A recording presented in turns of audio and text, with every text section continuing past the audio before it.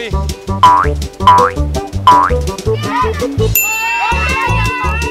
Hai cái rồi hai cái rồi đội bên kia được hai cái rồi. Con mười con chưa đâu mày lên mày lên. Cố lên tìm đi. Thể thao nhiệt tình vào. Qua đây nè đi hướng này đi hướng này đi. Rồi ông tới rồi. Đây đây đây ra góc ở đây đâu không? Cái này nữa. không không. Chồng anh lên chồng anh ba rồi, bên này được ba chưa? Ba rồi, đúng không?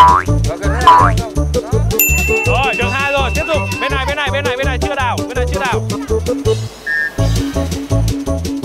về được hai, cố lên bên kia được ba rồi đấy. Nào. Thế nào?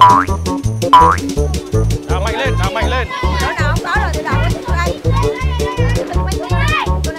Đấy, khả năng ở đấy có đấy. Đào đi đào đi.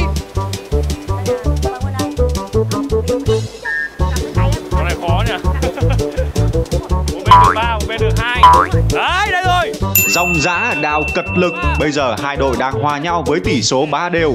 Tình hình này không biết đội nào sẽ đào được 10 chú cá sắc màu nhanh hơn đây. Chúng ta cùng đến với những diễn biến tiếp theo. đào An Sang đã đào được thêm một chú cá rồi. Tốt lắm, tiếp tục phát huy nào. Con nào tiếp đi, con nào tiếp đi. Qua phía bên kia thử coi, qua phía bên kia thử coi. Thử thách vượt chạm này có vẻ hơi khó đối với An Sang và Tuấn Hiệp. đi đi đi đi Đi con.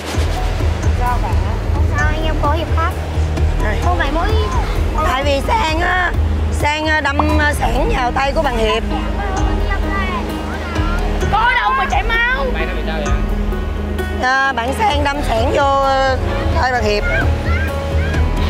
Hồi nãy lúc ta bốc rồi nãy À à, tình huống phạm lỗi không được fair play của An Sang. Bạn An Sang là phải lưu ý trường hợp này đấy. Bạn ờ, Hiệp đang bóc là lấy sẻn đâm vô, đâm vô tay rồi. Con là chùm luôn á. Bỏ cái tính đó nha. Ây à, hình như cô Trâm thực sự là giận rồi á. Nhưng mà An Sang chắc là không cố tình làm bạn Hiệp bị thương đâu cô Trâm ơi.